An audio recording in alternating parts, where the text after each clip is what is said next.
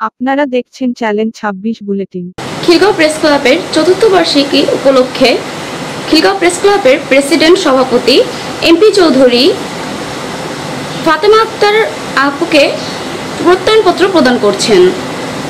তিনি একজন সফল ব্যবসায়ী সমাজসেবক এবং রাজনীতিবিদ। সুপ্রিয় দর্শক এবং শ্রোতা মণ্ডলী আসসালামু আলাইকুম। আজ আমরা এসেছি খিলগাঁও প্রেস ক্লাব থেকে। দুই নম্বর ওয়ার্ডের যুব মহিলা লীগের সভাপতি ফাতেমা আক্তার আপার কাছে। উনি একজন বিশিষ্ট সমাজসেবক, রাজনীতিবিদ।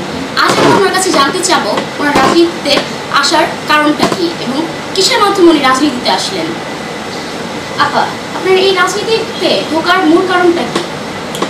আসলে আমাদের ফ্যামিলিতে সবাই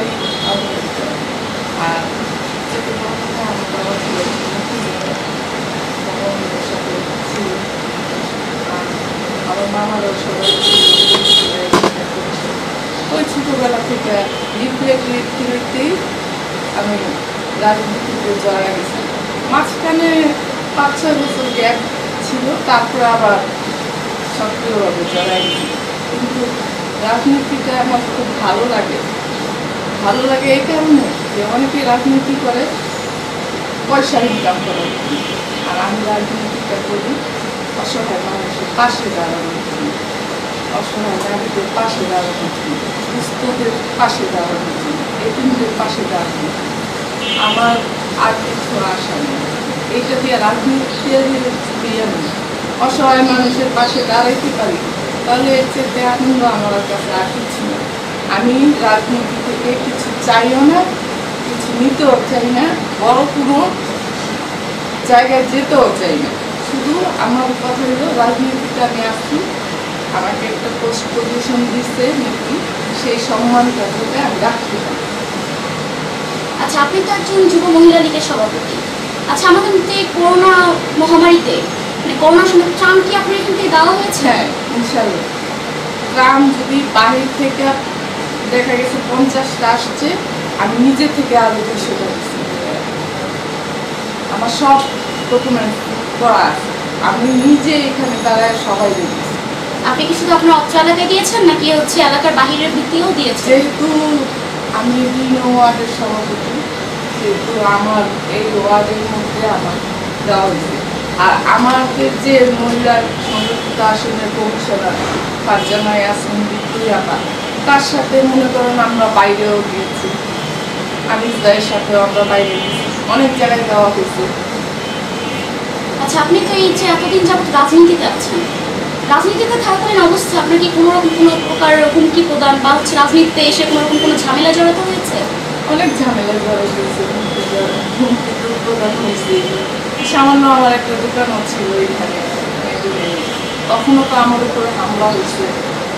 সবার সামনে মাঝখানে আমাদের জামাত শিবিরা চুলগুলো টাইমে আসবে এটা নিয়ে অনেক কিছু হয়েছে।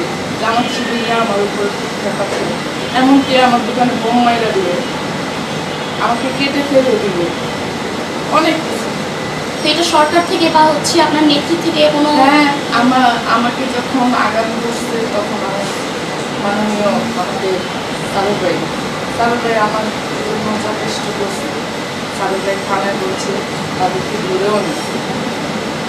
এত সংগ্রামের পরও রাজনীতিতে মানে এক সারা জীবন যতটা দিন বেঁচে আছেন আপনি কি রাজনীতিতে নিয়েই থাকতে চান?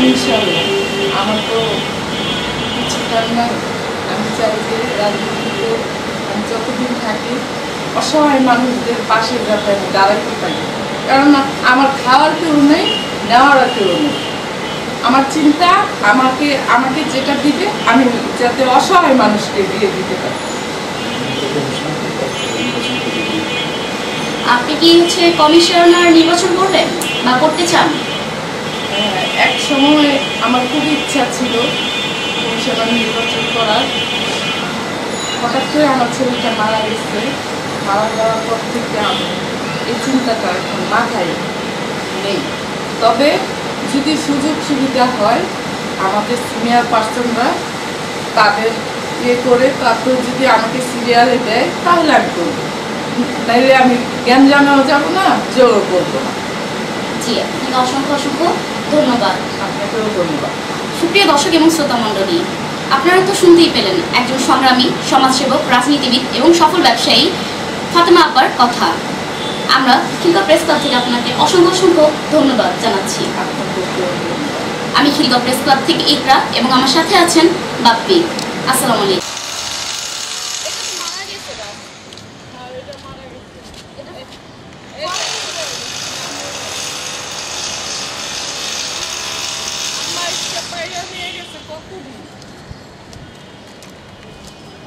এটা কি সবেদা ফোকাস না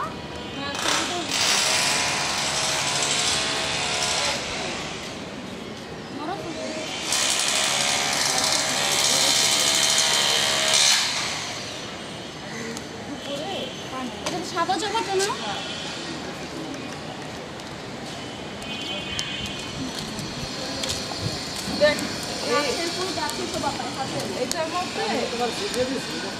আটটা পেয়ারা ধরছিল বিশাল বিশাল আটটা পেয়ারা। এই ছোট গাছে? একেবারে এদিকে ছাপা। মানে হচ্ছে ওইটা ও একটা তো রয়েছে আমার আরেকটা জিনিস দেখাই। ডালিম গাছ তো এখানেও আছে দেখা যাচ্ছে। কিন্তু এটা তো মনে হয় পচে যাচ্ছে। না না না ওই লেবু না? হ্যাঁ, লেবু। এই যে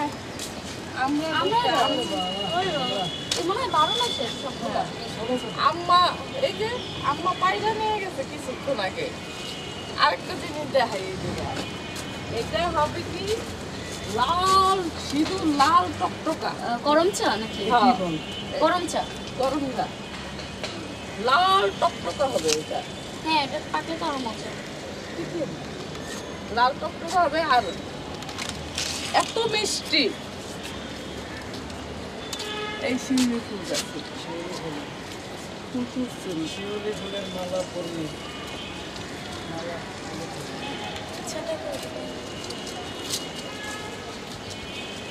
আর এই যে এটার মধ্যে পেয়ারা যেমন লাল গাছও লাল ভিতরেও লাল। লাল পেয়ারা? হ্যাঁ। আমার দু তিন লাখ টাকার গাছ হয়ে গেছে। দেখবেন না সিম গাছ হচ্ছে।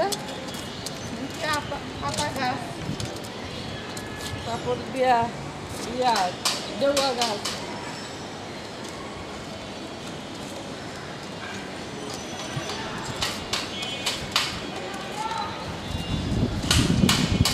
এটা কি গাছ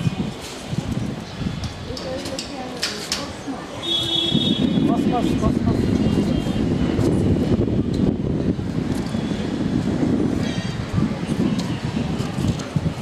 এটা অনেক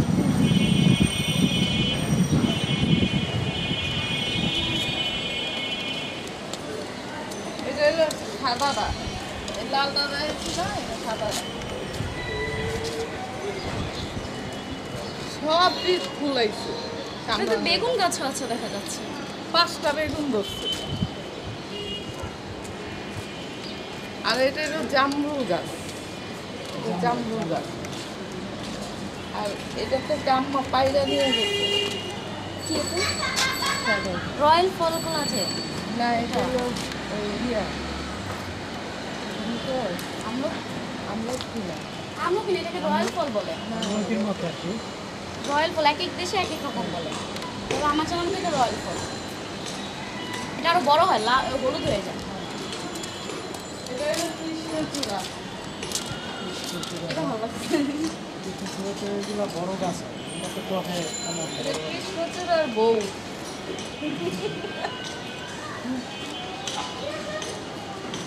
এই দশটা গাছ লাগাইছি এক একটা বেগুন বেগুন গাছ।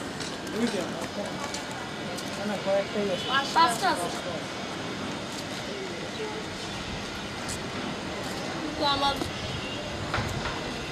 বাড়ির বাসার ড্রেসের ছবি। বাসার ড্রেসের